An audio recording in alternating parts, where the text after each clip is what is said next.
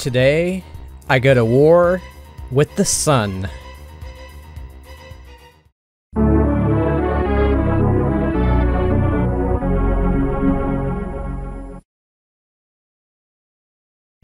Hi everybody, I'm going to do another thing to this room. I'm going to take care of a problem I'm having with sunlight. I don't want sunlight in this room because it fades all the things in the room. It literally breaks down the molecules that supply the color to things. If you have one or two game systems, it might not be a big deal, but when you have this many of them, you really don't want any sunlight in the room. I've already done some things to block the sunlight in the room. I have two windows windows. There's one here and there's one on the other side behind the TV. Right now, I currently have cardboard blocking them. You might think, doesn't that look a little ghetto from the outside? Whenever I go out there and look, I don't notice the cardboard at all. It just looks like a ordinary window with a curtain in it. I already live in the ghetto, so it doesn't really matter to me anyway. That cardboard mostly works, but the thing is, some light is getting out from around it because it's not a tight fit I do want to show you an experiment I'm doing in regards to the sun. Many, many months ago, I taped a PS4 game to the window and it's on the sunny side of the house. And today I'm going to take it out and see what it looks like. And I'm just gonna cut apart the tape. And the game I chose to put out in the sun is called Overcooked. I figured with a title like that, it would be a good subject for my experiment. And as you can see, it's very faded. It just goes to show how much fading can affect your game collection. I'm always dismayed when I walk into a video game store that has very wide windows. I walk through the aisles and I see all the sun damaged games every single day that goes by that the sun shines in there, they could be doing like, I don't know, $50 worth of damage to the games overall, simply because there's so many of them. A lot of collectors are not going to want a complete inbox game that's faded. I know game stores are trying to attract people from the streets and from their cars. They want people to see the games that are inside, but they need to care about what the sun does to their games, and I think they need to put curtains up. Let me know if you've been to any stores that have faded games. So today what I'm going to do is improve the sunlight blocking system I have in this room. I'm going to take the cardboard completely out and replace it. And I'm going to do some things to the window to hopefully make the cardboard fit better and to block out the edges where the sunlight's coming out. All right, so first I'm going to move this table and I'm gonna carefully unplug the items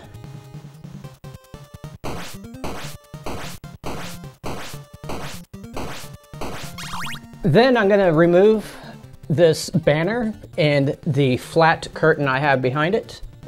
It just snaps out. There we go.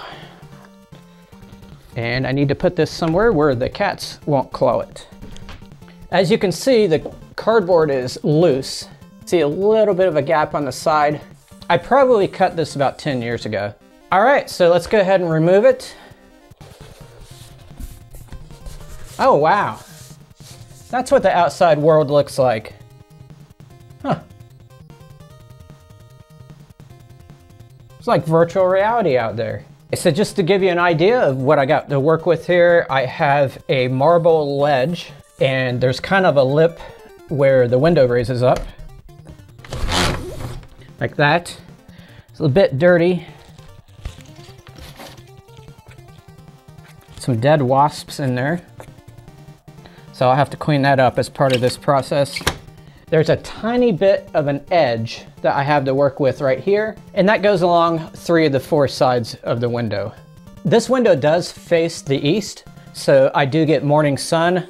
It's the afternoon now, which is why there's no sunlight coming directly through the window. I'm gonna let it air out in here and clean up the window. And my cat is very curious. You wanna sit in the window? Look at that. All right, so I'm just gonna clean it up a little bit here. I don't see the inside of this window too often, so I'm not gonna spend all day cleaning it. I'm not gonna bother cleaning the glass either. It just doesn't matter. There's a gutter right here, and occasionally I do hang out the window and with a stick with a curve on the end and I unblock that gutter because sometimes uh, the downspout right over there gets stuck or stopped up. I have another cat that wants to check it out. It's kind of hard for them to sit on that windowsill there. Not very cat friendly. Now here's something cool. I can see an outline of the actual window on this cardboard and you can see along the sides uh, there's kind of like a border of the windowsill down here. I put it back in the window for a little bit so I can show you some of the solutions I'm thinking about. I got this package of sponge tape and all this is is something that seals your windows. It's usually used for insulation. You can see it's just like a, a thick spongy tape. I thought if I put it on the edge of the window, I might be able to A, get the cardboard to stay in better, and B, block some of the light that's going off through the sides of the cardboard. I also got these floor shields. These are just long pieces of plastic that people use to paint the edges of their walls. There's several sheets of it here. I might tack it on to the edge of the window like this. That could also um, make this stay. Now it's really thin plastic, so I think some of the light's gonna come through. Now I also found some real interesting pieces of cardboard here. A corner piece, basically. This would help keep that uh, cardboard in place. Some of you may ask, why are you using cardboard? Why don't you just put up some nice shades and a nice thick curtain? I want the window sections of my game room to be flat and just look like they're not there. By the end of today, I don't think it's gonna be a problem. I think the cardboard method is going to work. Now I'm going to recut the cardboard for the two windows. I went out to a community recycling center and found some cardboard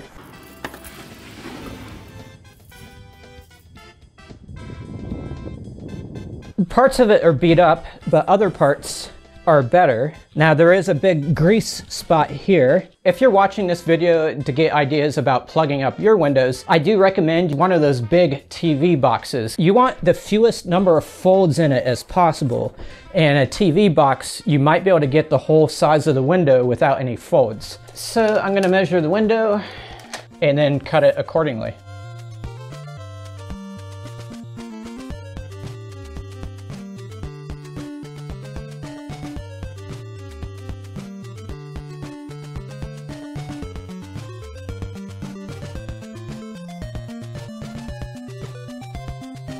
I got both the pieces cut and there's still a fold in the middle of it, but I could not avoid that.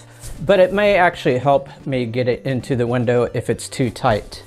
I'm pretty sure I was consistent with the measurements, but you never know when you're cutting cardboard. Let's see if it fits. The sides are almost perfectly cut, but there's a little bit on the top that won't go in I think I am gonna have to maybe take a little bit off the top. Now it may be hard to see, but I'm actually just making little incisions along the top because it's gonna be a little bit too hard just to slice a little bit straight across. But if I make little incisions, I should be able to smush it into the window, if that makes sense. Because this top will be more bendable. All right, let's see if it worked. I got the etched end of it uh, on top. And let me see if I can smush this in now. This should work. I don't know why it's not working. Maybe I didn't make the notches uh, big enough. But I'm gonna start bending them down a little bit here. It's almost going in there. That's what she said. There we go, look at that. I think I might have it. Oh, there we go. Now, that is a tight fit. Let's turn off the lights and see if we can see any sunshine coming out the sides. There is a little bit of it getting through, but not nearly as much as it did before. Computer, lights. Yeah, this bottom piece wants to stick out. I think uh, using some of the other things I showed earlier, I might be able to pin that in there. I could take a piece of the cardboard uh, that I showed before and put it right here and that would hold it in, but it sticks out too much. That curtain I showed earlier, I need it to be flat up against the wall and I just want to disguise the window and hide it basically. Now I also talked about these things. I don't think these are going to be strong enough to hold it in. I think I'm going to use the sponge tape. It'll block it and also help hold in the cardboard. But we'll see how easy this is to work with. Ugh, it smells. Whew, wish I still had that window open. Okay, so I'm just gonna cut a piece. I'm not a sponge tape expert, but let's start off with a little piece. I don't know if I need to do it around the whole inside of the window. And let's see if we can, it's slightly sticky on one side, but there's a peel strip on the other. Oh, but that's that other side isn't sticky at all. But let's see if we can get it to keep this cardboard in down here and then push all the way upward. Ah, it's coming up already. I don't know if this is gonna work. Or let's start up here instead. Get a tight bond and then work our way down. Alrighty. That is holding so far and I'm gonna really press it in now. Looks pretty durable, but I just don't know how sticky the backing is. I'll go ahead and finish up this side. Like I mentioned before, I want to be able to access this window to clean out the gutter and do, you know, occasionally air out the room or whatever. I'm not going to try it in this video, but I should be able to pull the cardboard out by pulling it this way now. I think I'm gonna put a little bit down here as well, just enough to keep that cardboard corner from sticking out. So I think I got a good solution here. It's much better than what I had before. We'll see how it holds up over time. Cardboard does absorb moisture, so during the humid months, this cardboard might become heavy and want to droop out or something. I did have to make a little dent up here to get this corner in, but that has made it very tight. Unlike the other, I can shake this right now and it doesn't fall out. I also think it's cool how there's a footprint right here. There's two footprints. And I don't think these are mine. I think uh, someone who threw these away stepped on them. Also from the outside, I cannot tell that it's cardboard. So I think we have a winner. If you're thinking about doing what I'm doing and you're concerned that your neighbors are going to know you're using cardboard, you can trick them a little bit more by making fake Venetian blinds. And you can do that with masking tape. Now, I almost did that today for the two pieces of cardboard, but I decided against it because it was gonna take too long. And you have already seen, it doesn't look like cardboard from the outside anyway. If you just lay row after row of masking tape, you can create some fake blinds. There's different ways to do it, but if it were me, I would leave little gaps. It kind of gives the illusion that some of them are like uneven or whatever. If you wanted to, you could take a black marker or some other color and just make little lines through the middle just to emphasize the separation between them. This is just a sample piece to, to show you the concept, but uh, I think it's a cool thing to try. Next, I need to do this window. So I got all this stuff in the way I'm going to remove the TV and set it aside. And uh, it's gonna be tricky to navigate all these cords, but I think I'll be able to do it. Three HDMI cords I just unplugged. I'll disattach the power cord. Some people have said I should upgrade to a 4K TV. However, what they don't know is that this is already a 4K TV. Not sure why they assume it's not. As you can see, there's quite a lot of wires. So now I need to get to this curtain back here. And we can see that this side is in pretty good shape, but it does pop out a lot on this side. About once a week I have to shove this in. And the light from it actually hits this Bubble Bobble poster right here, so I wouldn't be surprised if that's faded a little bit. You might see me kill myself today if I fall off the ladder. Eh, I would probably survive though. Whoa, whoa, whoa, whoa, whoa, whoa, whoa. I didn't realize I have tape holding this in. All right, let's see if I can pull this out. I don't know how I'm gonna get this out of here. I don't wanna have to move the setup, but first I'm gonna untie these wires to give me a little bit more maneuverability. Who knew a game room would be so tiresome? There we go. Now we're getting somewhere. You can kind of see the faded effects of the windowsill. Okay, I'm gonna clean the windowsill again. So now I somehow gotta get this back there. I don't think it'll be too hard. Because I got this bend in it. So first I'll get it all back there and then I'll flip it like this. Okay, let's push through here. Let's push on the other side over here. So far, so good. And let's do the notched top. You know what? It fits pretty good, except there is a loose part up at the top. Yeah, so this corner is sticking out. I think I'm gonna put that tape up here because Oh, now that I push the bottom in more, it's not sticking out anymore. Just like the other window, I'm gonna put this tape down here. For whatever reason, that's always the loose corner. Um, let's do a bigger piece on the bottom here this time. I'm kind of curving this outward a little bit so that it'll be easy to remove the cardboard when I need to service this window. Let's do a bigger piece for right here. I have a feeling one day I'm gonna come in and it's gonna be dangling or something. And we'll put one more strip of it up. Even though the sun is going down, let's go ahead and do a light test. And there's a little bit of light at the top, but I'm not too worried about that because remember it's gonna be covered by the curtain.